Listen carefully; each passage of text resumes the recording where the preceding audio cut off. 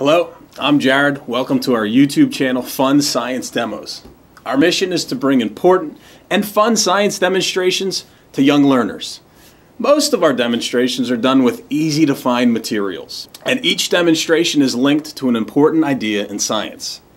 We keep our demonstrations simple and uncomplicated. That makes it easier for young students to see the big idea. We ask questions throughout the video so teachers have the option of stopping at any point and leading a class discussion.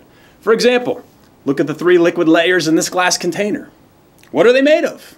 Why did they separate? What happens if we add other things? In our demos, we use vocabulary that young learners can understand.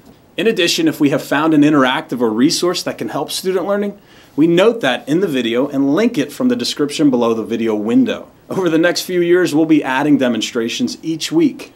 Science education is important for all students. Soon captions will be added to each video so that the English subtitles can be translated into virtually any language in the world. Our channel was created by myself, Dr. George Mehler, and the teachers of Central Bucks for their colleagues here and around the world. Please subscribe, and thanks for watching.